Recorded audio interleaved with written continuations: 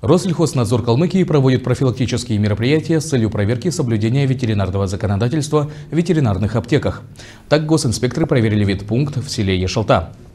По итогам проведения профилактического визита э, индивидуальному предпринимателю разъяснены правила, правила настоящих законов при реализации лекарственных препаратов и при хранении э, лекарственных препаратов ветеринарного применения.